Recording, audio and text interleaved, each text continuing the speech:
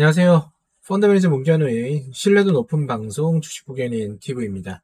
오늘은 하이퍼 코퍼레이션 요거에 대해서 한번 해볼 텐데요. 1349원의 요 다이소 종목인 회사죠. 그러니까 당연히 세력주에 포함이 됐을 가능성이 상당히 높다라고 보시면 될 것 같고요. 뭐 어느 세력주나 똑같지만 이런 식으로 매출액이 그렇게 좋지 않은 상황에서 단기 순이익 역시도 점차적으로 나쁘다라는 걸 알 수가 있습니다. 보유율은 조금 높은 편이지만 크게 의미는 없고요. 기업 사업의 개요를 보시면은 비마약성 진통제를 갖다가 이렇게 진행을 하고 있어요. 회사 이름이 하이퍼 코퍼레이션인데 비마약성 진통제다. 그러면은 사명을 변경했구나라는 걸 알 수가 있습니다. 그리고 IT 유통사업 부분을 진행을 하고 있다. 마약성 진통제와 IT 유통산업은 전혀 상관이 없는 거죠. 이것만 보더라도 아 근본이 없는 회사라는 걸 알 수가 있는 거죠. 하이퍼 코퍼레이션이 24년 7월 25일 날 이렇게 AI 마인드봇 에쿼티라는 것을 갖다 취득을 해요. 얼마를 주고 하느냐? 150억이나 주고 합니다. 적자 회사에서 150억을 투자했다는 것은 대단한 거겠죠. 하이퍼 코퍼레이션 이렇게 보시면 AI 마인드 봇 에쿼티 이렇게 되어 있는데 얘들이 26일 날 타법인 주식을 취득을 합니다. 어디? 엑스큐어 주식회사를 갖다 이렇게 취득을 해요. 근데 140억을 취득을 한다. 150억 받고 140억 넘겨주는 이런 상황. 엑스큐어 보시면은 9,680원 이렇게 되어 있고요. 시가총액이 715억이다. 매출 보시면 거의 한 3배가 늘었음에도 불구하고 적자 폭이 오히려 커졌다. 그러면은 회사의 이제 조속 가능성은 아직까지는 뚜렷하지 않다라고 볼 수가 있겠죠. 그리고 최대 주주가 대광 헬스케어예요. 보유지분 27%로 되어 있는 회사. 이 엑스큐어가 또 최대 주주가 변경이 되기 시작합니다. 양수도 금액 240억에서 대광 헬스케어가 이렇게 AI 마인드 에쿼티에게 넘겨주는데 주당 가액이 2만원으로 넘겨줘요. 이거 보면은 좀 이상한 부분 있죠. 이렇게 보면은 2만원, 그리고 나머지 알파 조합, 룩스 조합, 요런 데서는 7,649원에 진행을 하더라. 요런 회사가 과거에 있었는데, 세력 지도에 있던 종목 중에서 IS 이커머스가 요런 회사들이 상당히 많이 나왔다. 지금 최근에 IS 이커머스가 또다시 여러 가지 회사들을 인수를 하면서, 특히나 과거 룸투 코리아 했던 회사 스타코링크를 인수하면서 또 다른 무언가를 꾸미고 있다라는 거 여러분들에게 최근 영상에서 말씀을 드렸었어요. 어쨌거나 엑스큐어 7월 18일날 이런 식으로 30억 정도 타법인 증권 취득 자금을 받고 그 다음에 운영 자금으로 50억을 받겠다라고 하면서 AI 마인드봇 에쿼티에게 이런 식으로 80억 정도를 지불을 받는 것을 알 수가 있겠다. 타법인 증권 취득 자금이 또 나와요. 그러면 여기서 또 하나의 우회상장을 진행을 하겠다는 게 알 수가 있겠죠. 엑스큐어는 스마트 카드 사업을 갖다 영위를 하는 회사인데 어, AI 회사가 스마트 카드를 갖다가 끌고 왔다는 건 조금 의아할 수밖에 없는 부분이겠죠. 그리고 24년 7월 24일 날 이렇게 신규로 이사를 선임하는 세부 내역을 보게 된다라고 하면은 뭐 핑거랩스 등등 FSN 뭐 여러 가지 사람들이 다 있잖아요. 그리고 여기 보시면 AI 마인드봇 이런 식으로 또 들어와 가지고 아 엮여 있는 세력주들이 있는 종목들 전부 다 여기에 들어와 가지고 회사를 움직이려고 하는구나라는 걸 알 수가 있습니다.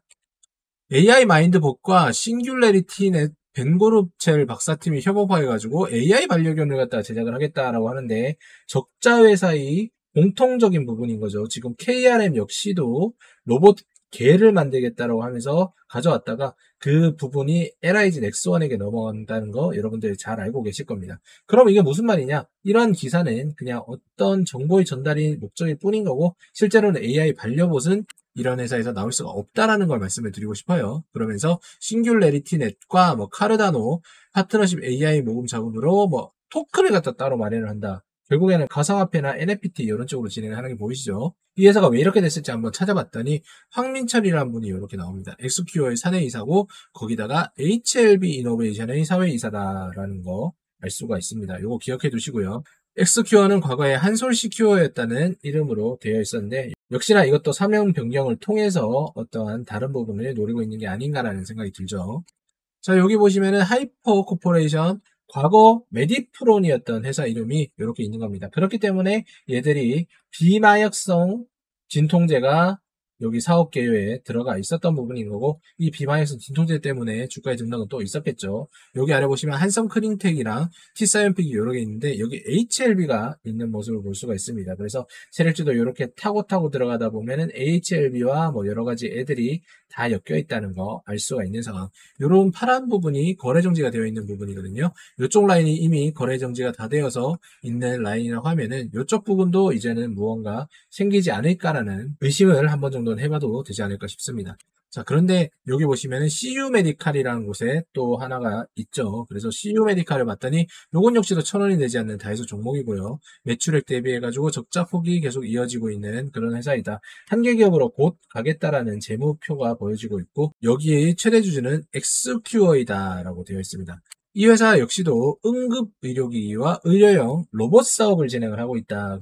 딱 봐도 이거 지금 연계되는 거 보이시죠? 아까 그 하이퍼 얘들의 인수를 했던 AI 마인드 로봇 요쪽이 있으니까 뭐 결국 AI 마인드 로봇이잖아요.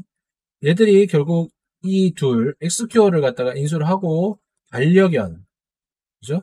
그 다음에 로봇 그 다음 여기 있는 의료용 로봇 이런 식으로 진행을 하면서 아 요것 역시도 다음번 있을 로봇 테마에 다시 한번 쓰려고 진행을 준비 중이구나 라는 걸 알 수가 있습니다. 그런데 세력들이 워낙에 로봇을 갖다가 많이 진행을 해놓은 상황에서 어, 신규로 이런 또 로봇 테마를 가지고 들어가기는 쉽진 않겠지만 AI를 갖다가 붙인다고 하면은 또 얘기가 다를 수 있는 부분 분명히 존재하겠죠. 여기 보시면 의료용 수술 로봇은 CA 뭐 이런 식으로 되어 있다. 그래서 테마 자체가 얘들이 이미 의료와 반려견 이런 식으로 진행을 해가지고 어쨌든 로봇 테마를 타겠구나라는 걸 알 수가 있는 겁니다. 그런데 CU 메디칼 보시면은 21년도 7월 7일 날 이렇게 한국 채권 투자 자문 얘들이 나오더라고요. 이 한국 채권 투자 자문이 나오는 곳은 항상 말씀드렸던 조경숙 라인이라고 말씀드렸죠. 최근에 있었던 곳이 EN 플러스 EM 플러스가 이런 식으로 하면서 리튬 테마를 타고 어마어마하게 주가의 등락을 보인 다음에 지금은 거의 끝물이라라고 알 수가 있는 겁니다. 이것만 세력집은 따로 이제 뜯어서 보면요. T사이언티픽이 FSN에게 요 메디프론을 매각을 했어요. 그런데 수성자산운용이 여기 양쪽에 걸려 있는 건 알 수가 있고요. 하이퍼 코퍼레이션이 AI봇 에코티를 갖다가 이렇게 진행을 하고 그 다음에 엑스큐어를 인수해서 CU 메디컬까지 여기가 뭐 반려 로봇 그 다음에 여기가 의료 로봇 이런 식으로 진행을 하려고 하는 모습이 보인다라는 게 여러분들 진행이 되는 부분이고요. 세력주를 이렇게 제가 설명을 드렸는데도 이 종목을 산다 혹은 보유한다 하시는 분들은 주식 그만두시는 게 가장 좋다라고 말씀을 드리고 있습니다. 제가 항상 말씀드리지만 세력은 여러분들에게 도움을 주는 세력이 아니에요. 왜냐? 우리가 항상 말을 하는 세력주로 인해서 가장 이득을 보는 사람들은 누구죠? 세력이죠. 그리고 그 세력에 의해서 가장 손실을 보는 건 누굽니까? 여러분들입니다. 여러분들. 여러분들인데 누구 뭐 세력의 마인드로 무슨 리딩을 한다. 어? 세력주를 통해 가지고 그들의 흐름을 알고 수익을 낸다. 이런 것들은 100번 중에 99번이 성공을 한다고 하더라도 한 번에 여러분들이 인생을 끝장을 낼 수가 있어요. 물론 리딩하는 사람도 정상은 아니라는 거 꼭 기억을 해두셔야 됩니다. 세력을 안다고? 세력이 아닌 다음에 세력을 마음을 안다는 거는 결국에는 자기가 실패할 가능성을 인정한다는 말과 똑같습니다, 여러분들. 여러분들 그러면은 이 회사들이 로봇을 할 수 있다라고 생각을 하시는 건가요, 솔직히? 절대 불가능합니다. 최고의 인재들은 구글과 삼성전자에 가는 거지 이런 회사에 가지 않아요. 여러분들 자식이 선택지가 두 개라고 생각합시다. 엑스큐어에 갈래? 아니면 삼성전자에 갈래? 그럼 삼성전자를 다 보내겠죠. 그런 겁니다. 자본도 없고 실력자도 없는 이런 회사들이 로봇 테마만 가져와서 여러분들의 등을 후려치는 거겠죠. 그러니까 여러분들 꼭 검증하셔야 되고 이런 종목 하시면 인생이 끝난다는 거 다시 한번 기억하셔야 됩니다. 여러분들이 이러한 세력주에 항상 당하고 손실을 보고 파산이 나는 동안 가디언즈 스터디 클럽에서는 전일자 폭락장에서 팀원과 위메프 상황이 심각하다라고 이렇게 말씀을 드렸었고 그리고 이런 부분이 여러분들에게 많은 도움이 된다라고 제가 전달을 드리고 있죠. 그리고 어제 그 폭락장에서 어? 5%만이 상승을 하는 폭락장에서 무려 공유 종목 5개 중에 4개는 상승했고 한개가 하락했더라. 여기 보시면은 전일자 공유했던 종목도 무섭게 오른다라고 얘기가 되어 있죠. 3%, 300% 같은 3% 이런 것들이 있는 겁니다. 세력 투자하지 마시고 여러분들 정석대로 승부하셔도 충분히 여러분은 수익을 내실 수 있습니다. 제가 한 가지 묻습니다. 왜 여러분들은 여러분들의 꿈과 가족의 꿈을 베팅을 해서 세력주에게 모든 걸 날려버리는지요? 정석대로 하세요. 시간이 걸리더라도 공부하기 힘들더라도 정석대로 하셔야 됩니다. 자, 스터디 클럽의 참가비가 인상이 됩니다. 8월 때부터 인상할 예정이니까요. 여러분들 어서 들어오셔서 공유 종목으로 수익도 가져가시고 시장을 바라보는 insight를 가져가시면서 안정적인 투자하셔가지고 가족의 꿈을 꼭 이루시기 바라겠습니다. 차트 한번 볼게요.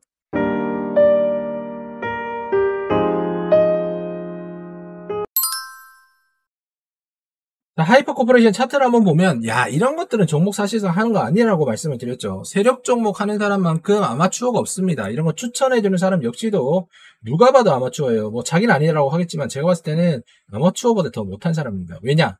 타인의 가정을 구렁텅이로 터뜨리고 있기 때문이죠. 이렇게 어쨌든 증거금 100% 종목 제가 절대 하지 말라고 말씀을 드렸는데 여기 보시면 이러한 등락들은 누군가가 분명히 유사투자 자문이나 이런 곳에서 추천을 했던 부분일 거예요. 그런 전문가는 절대로 믿지 마시길 바라고 이 종목들 보시면 등락률이 상당히 심합니다. 1,700원에서 어? 갑자기 1,100원까지 떨어져요. 그러면은 등락률이 요 사이 이거 아무것도 아닌 것처럼 보이지만 플러스 한 적어도 100%에서 마이너스 50%를 갖다가 꾸준하게 움직이고 있다는 거예요. 여러분 이게 정상적인 회사의 흐름입니까? 회사 자체가 어떠한 계획을 가지고 움직이는데 주가 변동만 이렇게 있다는 거는 회사가 껍데기거나 아니면 주가를 조작하는 나쁜 무리가 있다는 거겠죠. 여러분들 소중한 자금 이런 데서 하지 마시고요.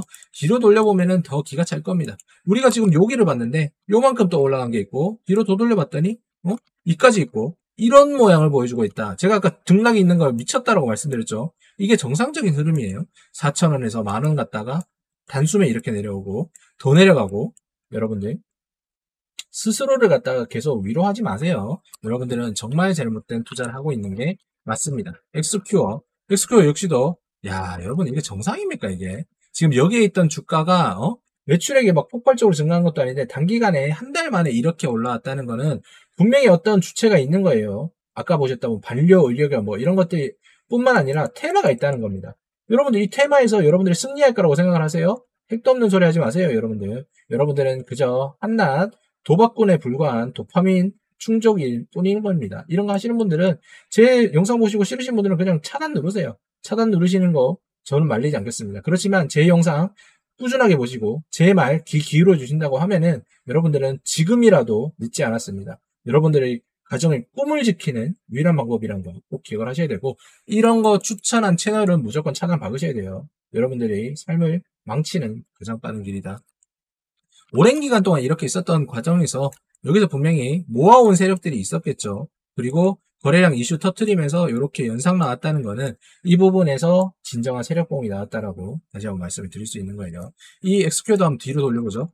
보세요. 과거에도 주기적으로 몇 년 단위로 사람들 머릿속에 잊혀질 때쯤 이러한 패턴을 동일하게 하고 있는 겁니다. 그럼 여기서 물렸던 사람들 이 구간에서 자살했거나 지옥으로 간 사람들 분명히 있을 겁니다. 우리가 알지 못해서 그렇고요. 여기서도 똑같아요. 이런 식으로 갔던 사람들. 왜냐? 여기 14,000원이잖아요. 14,000원에서 반토막 마이너스 50% 났는데 기약 없이 2년, 3년 가다 보면은 분명히 여기서 손절하는 사람들이 있어요. 손절하고 가정에 피해 있는 사람들 많겠죠. 여기도 마찬가지입니다. 여기서 이렇게 해가지고 이렇게 됐다는 거는 거의 마이너스 90%에서 80%를 날려 먹었다는 거예요. 은퇴 자금이 아니었으면 정말 다행인 건데 피땀 흘려 모은 돈을 갖다가 누구의 귀동냥식의 투자를 듣고 그리고 자칭 전문가라고 얘기하는 사악한 무리들이 얘기하는 이런 종목 추천을 듣고 여러분들 인생을 날려먹은 거예요. 얼마나 소중한 인생입니까? 얼마나 소중한 자금이에요? 그런 돈을 검증도 되지 않은 사람들에게 홀라당 날려버린 거 정말 슬프지 않으세요? 지금이라 늦지 않았습니다. 지금 이 방송을 보고 계시는 분들 여기서 매수하셨던 분들 무조건 정리하세요. 올라가든 말든 떨어지든 말든 그런 거 다 필요 없습니다. 그냥 이거는 잘못된 길로 들어가신 겁니다. 여러분들 삶을 지키시려면은 나오시고 지금 제가 말씀드렸던 스터디 클럽에서 다시 한번 시작해 보세요. 여러분 다시 성공하실 수 있습니다. 이 위에서 있었던 사람이 여기 물릴 거라는 사람이 내가 아닐 거라는 생각 절대 하지 마세요. 여기가 똑같은 패턴이 나온다고 하면은 지금부터 여러분들의 삶은 지옥으로 빠질 수 있습니다. 기억하셔야 돼요. CU 메디컬 한번 볼게요. 메디컬 볼 필요도 없겠죠. 아까 똑같은 차트들이 연속일 겁니다. 여기도 보시면은 다이소 종목 일단 천원 미만 동전 주기 때문에 쓰레기 종목이라고 할 수가 있겠죠. 여기서부터 아래로 떨어졌고 뒤로 돌려보면 비슷하지 않을까 생각합니다. 똑같죠? 이렇게 내려오고 여기 1,300원도 있는데 이렇게 내렸으면 이 과정에서 모든 사람들이 다 죽는 거예요. 유유상종이라고 얘기했습니다. 유유상종. 같은 사람들끼리 어울려 논다라고 얘기하죠. 종목도 비슷해요. 이런 애들이 삼성전자에서 인수를 할것 같습니까? 택도 없습니다. 근데 삼성전자 대단한 거죠. 여러분들 잘 생각하셔야 돼요. 여러분들이 주식을 갖다가 이렇게 사는 거는 어떻게 보면 여러분들이 무지함일 수도 있는 겁니다. 여러분들이 최고의 삶을 살고 싶다면 주식력지도 최고의 주식을 사시고 주식 전문가도 여러분들에게 이런 지옥 같은 종목을 선택해주는 사람이 아닌 최고의 주식 전문가 저를 한번 믿어보시기 바랍니다. 유료 가입하지 않으셔도 돼요. 세력지도에 있는 종목들만 여러분들 보시고 피해 가셔서 여러분들의 삶, 사랑스러운 가족, 와이프, 딸, 아들, 꿈을 이루시기 바랍니다. 제가 100번, 1000번 이렇게 이야기를 해도 이미 저에게 찾아오신 분들은 이런 꿈을 잃어버리신 분들이 너무 많아서 안타까워서 말씀드리는 겁니다. 진심으로 여러분들에게 도움이 되고 싶으니까요. 구독, 좋아요 한 번씩만 눌러주시고 정말 세력 지도는 다시는 하지 않으시길 바라겠습니다. 세력주의 흐름을 잃는다는 사람들은 세력이 아니라는 얘기예요. 그 사람들 역시도 세력들에게 당했던 기억들이 있을 거고요. 지금도 아마 당하고 있을 겁니다. 아니면 분명히 여러분들을 이용해서 세력들이 앞잡이를 하고 브로커리지를 받고 있을 겁니다. 그러니까 여러분들 그 악의 구렁텅이에서 나오시기 바랍니다. 저는 다음 영상에서 찾아뵙도록 하겠습니다.